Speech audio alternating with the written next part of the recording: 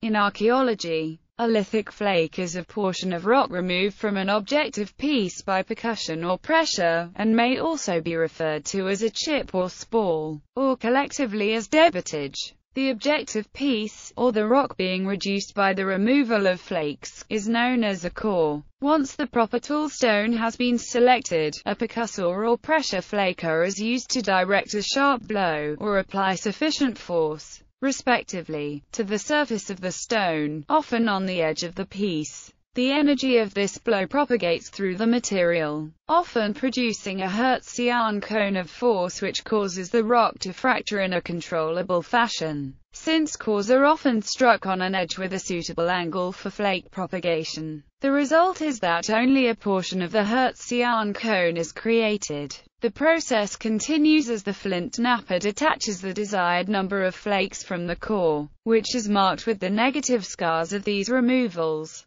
The surface area of the core which received the blows necessary for detaching the flakes is referred to as the striking platform. Production. Flakes may be produced by a variety of means. Force may be introduced by direct percussion, indirect percussion, or by pressure. Additionally, flakes may be initiated in a Hertzian, bending, or wedging fashion. When a flake is detached from its core in a Hertzian fashion, the flake propagates in a conchoidal manner from the point of impact or pressure, usually producing a partial Hertzian cone. The cone of force often leaves a distinctive bulb of applied force on the flake and a corresponding flake scar on the core. A bending initiation results when a flake initiates not at the point where the force was applied, but rather further away from the edge of the core, resulting in a flake with no Hertzian cone or bulb of applied force and few if any of the characteristics ripples or undulations seen on the ventral surface of conchoidally produced flakes.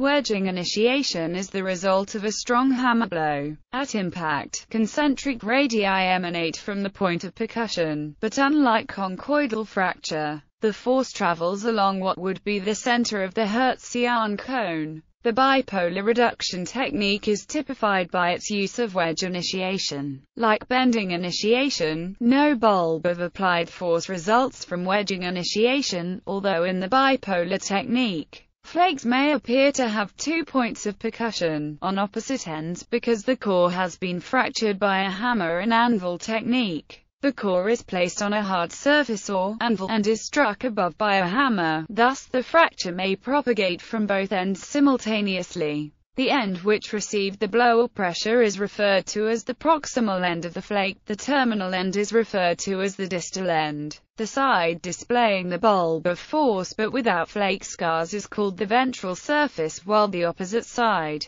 displaying the flake scars of previous removals, or the cortical or original rock surface, is the dorsal surface. On most natural cobbles or nodules of source material, a weathered outer rind called a cortex covers the unweathered inner material. Flakes are often differentiated by the amount of cortex present on their dorsal surfaces, because the amount of cortex indicates when in the sequence of reduction the flake came from. Primary flakes are those whose dorsal surfaces are entirely covered with cortex. Secondary flakes have at least a trace of cortex on their dorsal surface, and tertiary flakes lack cortex, having derived entirely from the interior of the core. Primary flakes and secondary flakes are usually associated with the initial stages of lithic reduction, while tertiary flakes are more likely to be associated with retouching and bifacial reduction activities.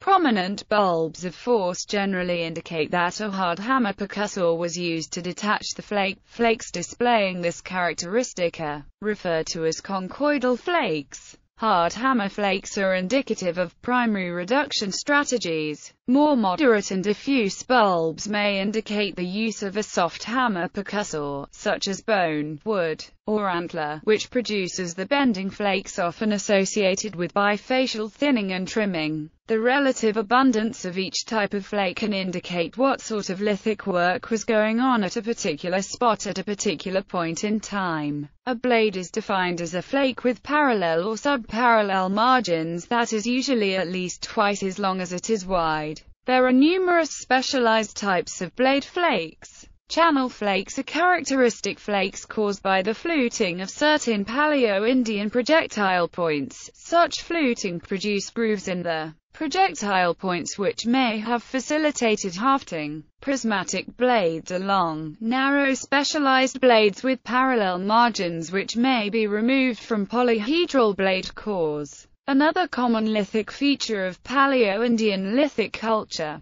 prismatic blades are often triangular in cross-section with several facets or flake scars on the dorsal surface. Prismatic blades begin to appear in high frequencies during the transition between the Middle and Upper Paleolithic. This lithic technology basically replaces the Levallois reduction technology. Other flake characteristics the striking platform is the point on a proximal portion of the flake on which the detachment blow fell or pressure was placed. This may be natural, or prepared. Termination type is a characteristic indicating the manner in which the distal end of a flake detached from a core. Flake terminations may be feathered, hinged, stepped, or plunging. Feathered terminations are often very sharp, as the flake gradually reduces to a very fine thickness before the force exits the core and removes the flake. Hinge terminations are the result of the force rolling away from the core, resulting in a rounded distal end. Step terminations result when a flake prematurely breaks or snaps during removal, leaving a distal end that is often squared off.